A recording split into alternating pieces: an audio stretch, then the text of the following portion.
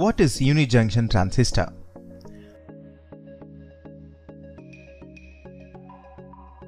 Unijunction transistor UJT is a three-terminal semiconductor switching device.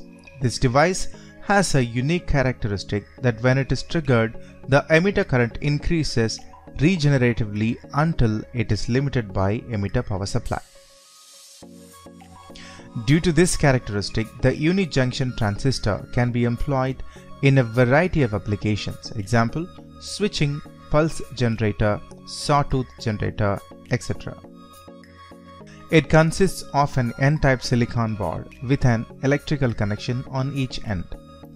The leads to those connections are called base leads base 1 that is B1 and base 2 that is B2. Part way along the bar between the two bases nearer to B2 than B1 a PN junction is formed between a P-type emitter and the bar. The lead to this junction is called the emitter lead E.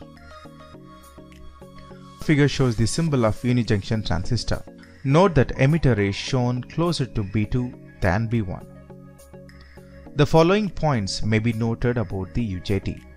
Since the device has one PN junction and three leads, it is commonly called a unijunction transistor.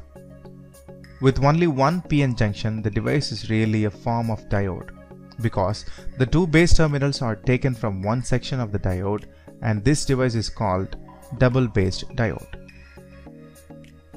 The emitter is heavily doped having many holes. The N region, however, is lightly doped. For this reason, the resistance between the base terminals is very high when emitter lead is open.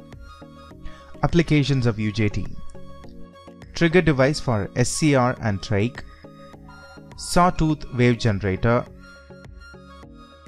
Phase control. Timing circuits